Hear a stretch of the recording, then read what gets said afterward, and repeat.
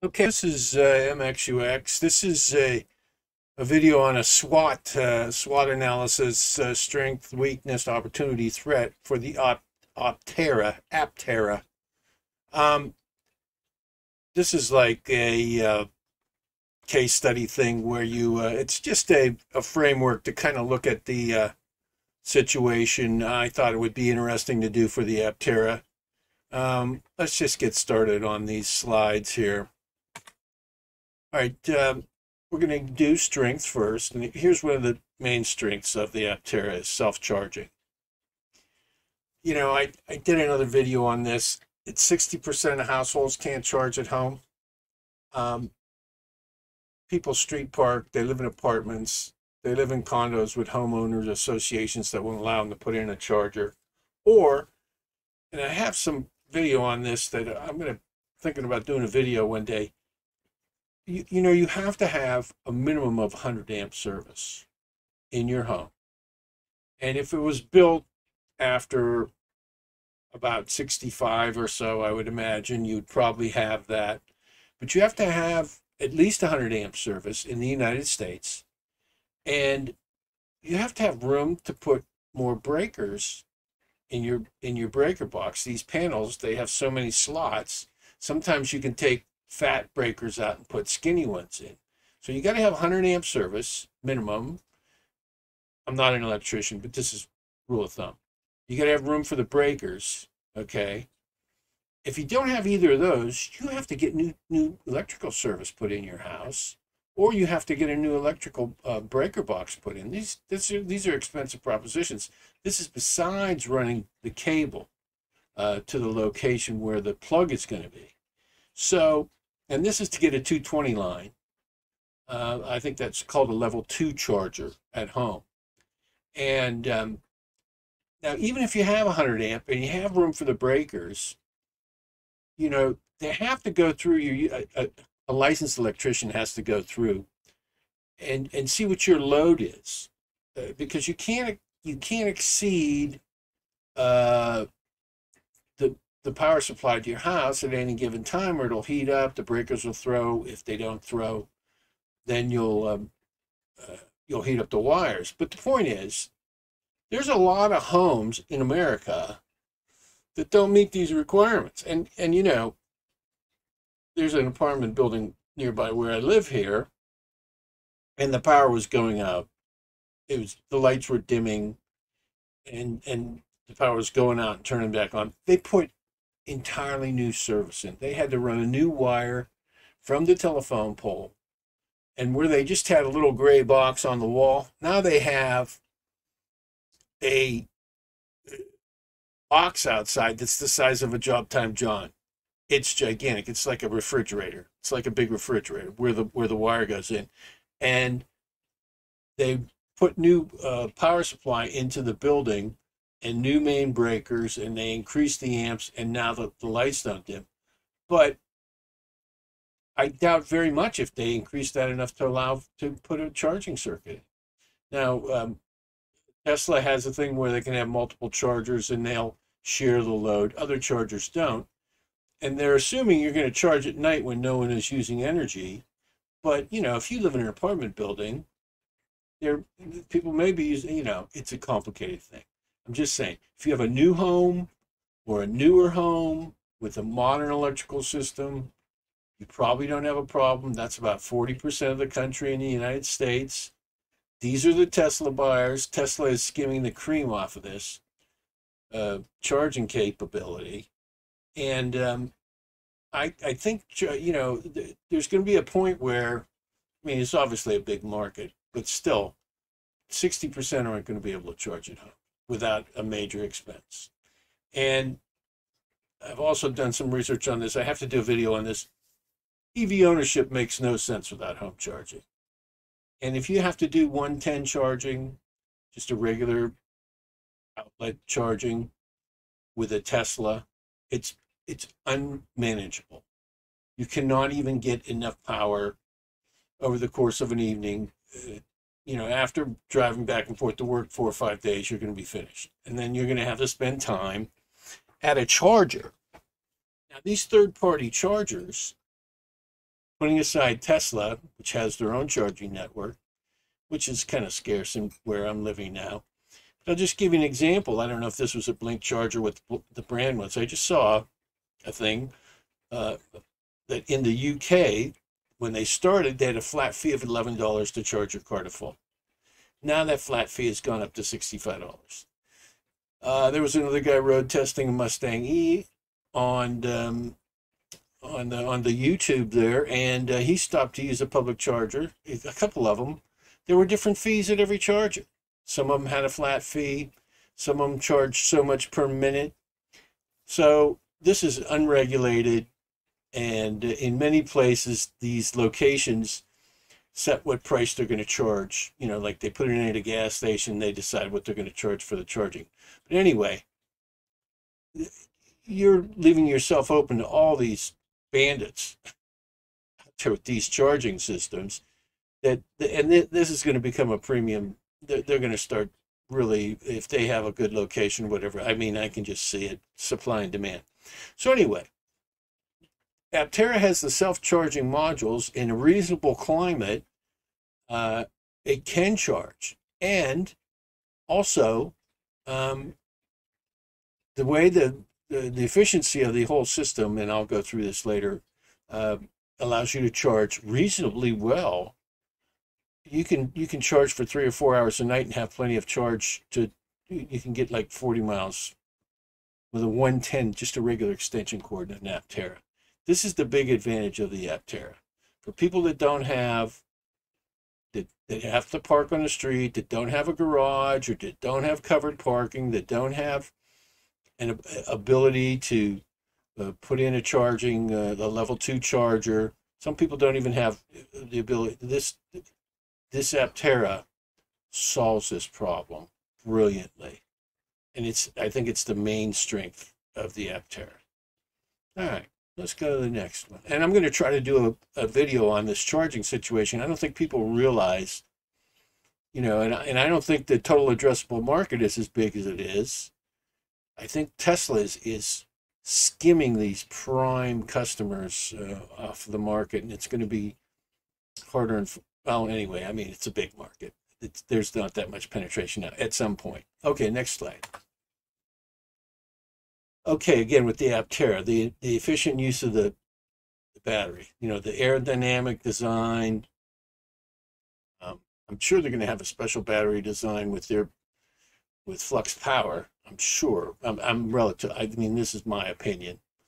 Um, that's going to just work great. Anyway, because of the lightweight, because of the aerodynamics, it's it's a reasonable range with the lower capacity battery, which is a lighter vehicle, and this just simplifies everything, and uh, it gets you to the point where you can have a reasonable 110 volt charging. If you can charge three or four hours a night with a regular extension cord, this is a rough example. Um, then you can use the lowest level Aptera, the 25K, and you can charge with the 110 uh, outlet, and it's completely doable. If you live in a sunny climate, you know, you may not have to charge at all. So again, uh, the design is part of the efficiency that makes the battery smaller, that makes the charging doable. So this is another real big strength. These these are major strengths of the Aptera, um, and um, you know it, it, it's beating um, Tesla on these metrics. So this is this is a great concept they have. Okay, another another strength they have is innovative design. Again, state of the art aerodynamics. Their material science is is going to just be blown up. I'm sure that they're looking at all kind of stuff. I mean, there are so many uh, different fibers they can use now, and carbon fibers coming of age, and the cost is lowering. Who knows what they're going to come up with exactly? But um, they're going to be able to really, I think, they're going to even be able to optimize this vehicle more. And also, innovative design includes the manufacturing techniques UV light curing of the body. It's a molded body. eliminate welding, eliminate the body in white. This is the equivalent of Tesla molding, uh, you know, with those giant uh, liquid uh, aluminum mold uh, molding machines they have, molding parts of the car. This is the same thing. Oops, sorry. This is the same thing, but with a, uh, a different concept, but uh, the same kind of efficiency. And this, these, and this all ties in with the battery. This charges it, ties in with the, the charging. So this is, a, uh, uh, you know, pulling all these pieces together. It, it uh, it's a major strength for the vehicle. Okay, now one of the weaknesses. So those were the strengths.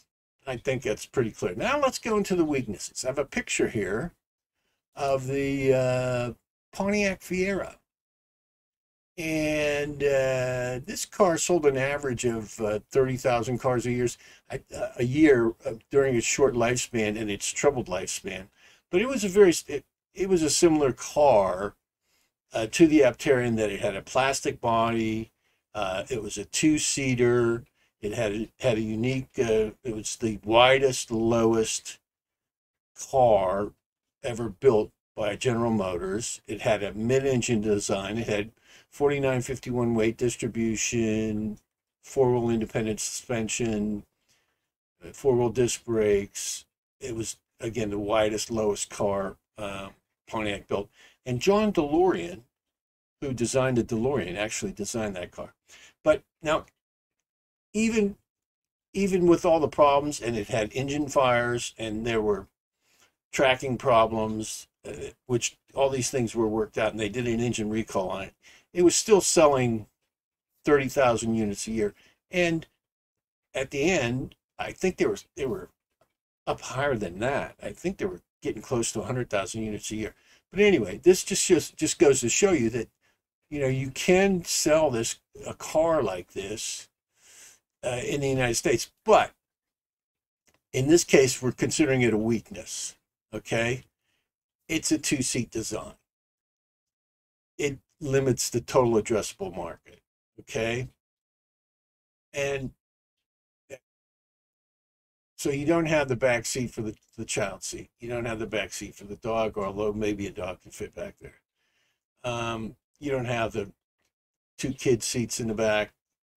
So it's it's limited to being a second car, okay, for running errands, a commuter car, a first car, perhaps like the Fiero, uh, more catering toward the youth market where they don't have family concerns. So it's definitely not a family car, and um, that's you can consider that to be a weakness. So again, and the Fiero proved that you could sell that car. Of course, it's a different time. I think uh, the Aptera is probably a better design. But anyway, it's still a weakness. The two seat is a weakness. Okay, we got a picture of the stealth fighter there. Um, it's got a polarizing design. Okay, there, it again limits the TAM. Okay, people either hate it or love it. Okay, they can't wait to see one. They can't wait to sit in one, or they would never be caught dead in one. Um, unconventional buyers will be interested. Traditional buyer buyers are going to avoid it. Also, also, uh, despite the early the success of the of the last version of the, uh, oops, sorry, of the uh, Aptera, um, this is a, this is untried. This is a new new. It's the new new. You know, will it work? Um, it's polarizing design, and that you know, people are saying, well, how's this thing even going to work? I had one guy asked me, he goes, well, what? Uh, don't the wheels heat up? You know, no, the wheels don't. I mean, the wheels have cooling lines in them, and so on and so forth. So uh, this is what people are thinking about this car. They, people don't even understand how these hub motors work. Um, so, in any case, and a lot of people feel that if it's not a family car, or if it doesn't have the potential to be a family car, I guess as reason that it's not a car. So this is another weakness. which is the other side of the coin of the, the effective design. So, nonetheless, a weakness, a, a weakness, a polarizing design. Okay, this is a biggie. There's no charging network from Aptera for the Apteras. Okay, it's limited to third-party chargers. I went over this earlier. Unknown charging costs. This is a total variable. You have no idea what your costs are going to be for this car. If you have to use a third, or any electric car, if you have to use a, a third party charging stations on a regular basis, you have no idea. You also have no idea of whether you're going to really have availability. Are they going to be used? Is is is the thing going to be damaged? Um, there's a whole lot of questions that come into into play with this. Are they going to be convenient? You know, I mean, I, I did a video here uh, going over, you know, how, you know, the false uh, image that's represented of the charging, public charging network. It's not good at all, really. Um, also, you know, will this limit the area of use of the car? I mean, if you want to go any long distance, are you going to be able to do it? So this is this is a key attribute that buyers look at uh, I found from my research as far as when they're going to buy a car, uh, an electric vehicle, you know, are they, you know, because you, you need a charging network. And uh, I think this is something Rivian and some of these other players are going to be faced with. I think Tesla is so far ahead on this. Now, there's been plenty of talk and winky emojis about it being part of the Tesla charger uh, network. And uh, it shows that Tesla, now, if it is, uh, and you know, I've I've alluded to this myself. If it is, it's going to be fantastic because this is going to be, you know, the superchargers of the level two chargers. They're going to be able to charge the Aptera in little or no time because of the small size of the battery. It's going to be fantastic thing for the future owners of this car if it does become part of the Tesla network. But we don't know that. So right now it's a weakness. And anybody considering a new car they're gonna they're gonna go for Tesla, right? Because you're gonna say Aptera. Well, I don't know if it's going to be on Tesla or not. So until that's announced, this is this is a real weakness also for the car. Okay, now let's go into opportunities. You know, I got this guy here. All right, I don't know, that's a stock picture, but he's our new EV consumer. Um, awakens a new EV consumer. Yeah. Uh, so this is this is a whole new market segment. It's different than anything that's out there. I know the Arcimoto is out there, but the Arcimoto is basically a motorcycle. It's not weatherproof. It doesn't have self-charging. It's a totally, basically a totally different vehicle uh, than the Aptera. So anyway, this is going to spark the imagination of a whole new segment of people that might not even have, considered a, a, an EV. It's uh, it's the new new thing. It's very unconventional. Uh, it's function over form I have there. There's there's engineering breakthroughs all over the place on this thing between the hub motors, the body design, the the cooling in, integrated into the body, and it's not like anything out there. So because it's a whole new product, you know, it's like uh, a new web service, or it's like, um, you know, you know, when they invented Facebook or some of these other things, Instagram. Well, who's going to use it? What are they going to use it for? Well, there's there, there's a market out there for it that we don't even know about yet. Um, that's going to develop itself uh, because it's so different and, and because it's so new. So I think it's there's going to be a whole uh, segment of consumers uh, that it's going to, um, you know, knock their uh, consumer balance off a little bit till they get one. This is my opinion, anyway. I think it is going to open up a, a, a, totally new sector that uh, these other vehicles aren't, aren't are not addressing, and conventional vehicles aren't addressing. Okay, this is one that I think is is overlooked by everybody. should they not? I, I mean, I don't know if they're going to detune this, if they're going to push the uh, performance aspect of this vehicle. But I can tell you, I've done a lot of research on these hub motors. I've done a lot of work on of uh, on Lordstown Motors, who's using the same motors, the same motor manufacturer, and you know these motors. In, in both cases, Lordstown, they're going to detune them. I, I, I think Aptera mentioned that they're going to limit the, the highway speed on this too.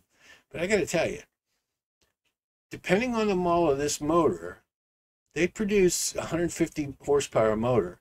You've got three motors. If you get the three motor drive on the Aptera, that's going to be 450 horsepower on a very lightweight vehicle and an aerodynamic vehicle. And that's enough in itself. Then these have individual computer control units on each motor and there's traction control, which is going to keep the wheels from spinning and so forth. And uh, this this is a big plus. Now, the other thing that people aren't talking about, which you know may be more into play with the with the uh, endurance pickup truck, is the torque vectoring. Torque torque vectoring, you know, what it does is uh, you get three wheels, okay? You can have the left front wheel going three miles an hour. You can have the left, uh, the right front wheel going 10 miles an hour, and you can have the rear wheel going eight miles an hour. So, in other words, not only physically turning the wheels will cause the car to, uh, to turn direction, but this torque vectoring will actually use the power of the motors to turn to reposition the car. And this is this is something that they use in F1 cars and it's pretty fantastic. You're also going to have all-wheel drive. So, you know, 450 horsepower, traction control, torque vectoring, all-wheel drive.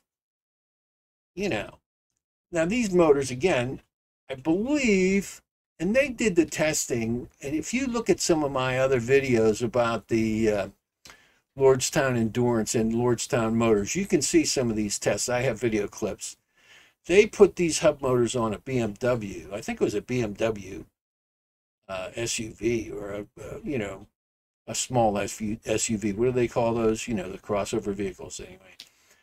They were getting under three uh, three point three seconds on zero to 60. Three point I think less than three point three seconds. This is a much lighter car. Of course, it's going to have one less wheel, but I think you know, you could easily expect that kind of performance. This is this is an opportunity for this car. I mean, this is a real hot rod. It's good. it can be. I mean, uh, no one's uh, marketing in that sense, marketing the car in that sense, but it really is. And um, I think that's uh, something that can really. I mean, this thing is going to. I'll tell you, have to see how it does on the track. I think it's going to do very good. Oddly enough, the Fiero did very good on the track as well. It was a very winning uh, GTU uh, road race car, you know, before its demise, because they were worried. Uh, the, the word was they were worried it was going to take over the Corvette market because with the six cylinder. Anyway, the point is, this car here is a is you know, I don't want to call it like a, a ninja motorcycle but um, I'll tell you what, the aerodynamic. This is like an F1 car. You know, this is, they're going to have a carbon. I think they're going to sneak some carbon fiber in there. I mean, this thing is going to be a hot rod if they want it to be. Anyway, it's an opportunity. Okay, this is this is another opportunity that the uh, Aptera presents. At the low end, I think it's 26K. You can look it up. This is this is a high value electric vehicle. It's low cost. It's got a, a mass market potential. I don't know if it's the cheapest EV you can buy right now, but it's got to be one of the cheapest. Um, I don't know if there's any subsidies that are going to come, but I think even without the subsidies right now, it's one of the cheapest. And it's affordable. And you can see by the pre-orders that, that people are ordering it. So now if um excuse me, Tesla just lowered the price on the Model 3. They say they're going to get the $7,000 tax credit. It may the price may come down on that as well. Uh, but for right now, this is one of the lowest cost um, cool uh, electric vehicles you can get. I mean, I'm sure you can get one of these little Chinese mini cars. I, you know, who would, who would, you know, something I would not personally, I would not feel safe in that, and I would not feel that it was a good expense. Uh, you know, I don't, I don't think that would hold up. Anyway, um, let's go through the threats now. The Aptera is pre-production, okay? They get a alpha or beta prototype. They do not have any mass-produced vehicles. They do not have a line running. They got Sandy Munro working on it, the best in the biz, but still, you know, I went over this with the with one of the um, last videos I did on the Aptera about the production they were modeling at this point uh, after the GM uh, after the Viper. You know, can it be mass produced? You, you know, we can't say that we know that. You know, can it be mass produced at a profit? We can't say that we know that we know that. Um, they got a roller. That's not a pusher. That's a real car they have, and I know they've been running it all over the place. But will the concept work in the real world? You know, um, I'm pretty confident it will. I think, um, you know, there's potential there for some, maybe the molded body to fail or stress cracks or something of that nature. But who knows? So these are questions people are asking, you know, will it work uh, in the real world? You know, if they buy one, you know, is the company going to go under because it's not making any profit? And there's already people, um, you know, some people have contacted me regarding some of the videos asking questions.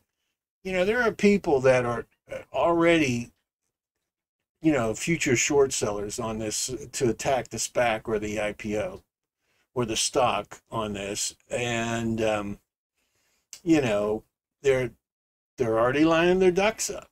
So this is a threat. You know, um, this is one of the reasons I did the video on the on the on the founder's uh, background.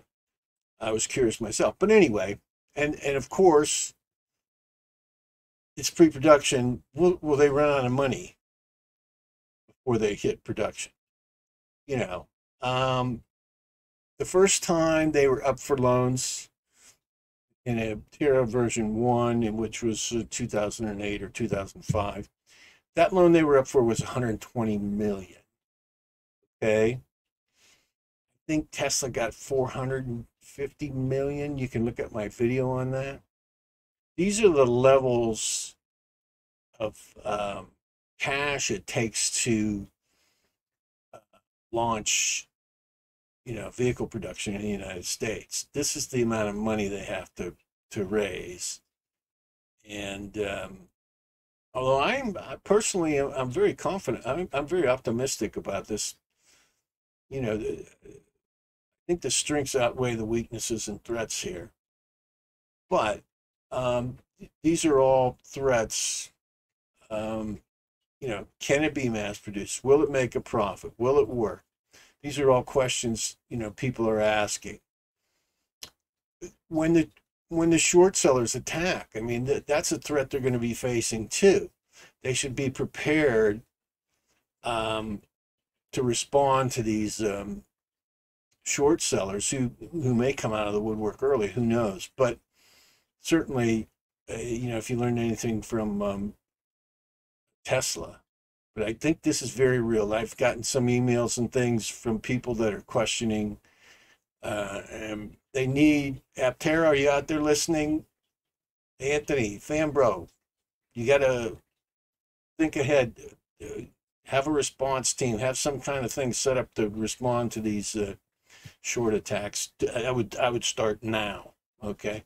Anyway, and will they run out of money? I'm pretty confident that they they're going to squeak by on the money. But you know, these are all questions that people are asking. So these are all threats that are facing. I think there's a lot of people, as evidenced by the pre-orders, that like this design and that are behind this product. So, but again, these are threats that that we're facing here.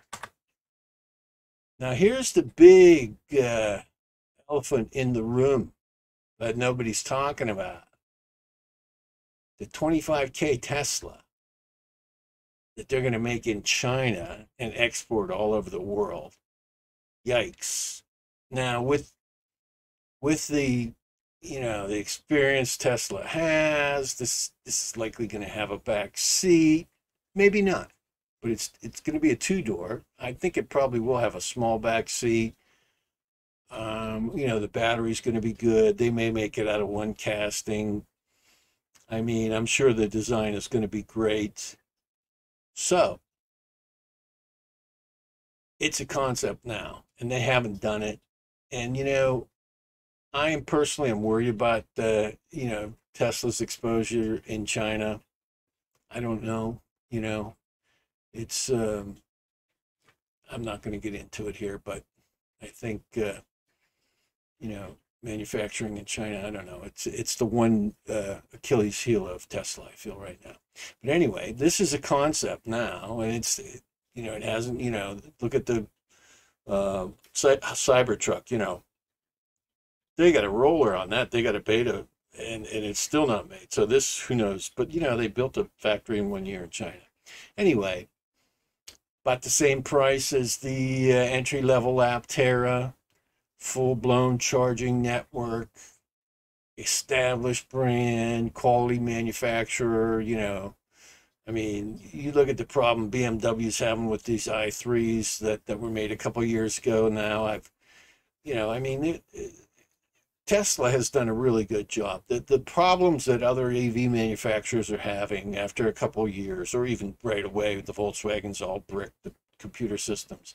I mean, Tesla is really a quality manufacturer, and they do not have the problems that these other EVs have. And uh, again, it's the backseat hatchbacks. It's not exactly a three box design, but it's a conventional automobile. It's a familiar design. This is a major threat to Aptera as well. Now, you know, of course, the you know, if you look at the strengths of the Aptera, it's the self-charging concept um, that's going to be the main. Uh, it's going to address that market that this this car is not going to address, or it's going to be harder for this car to address. Anyway, that's the big one.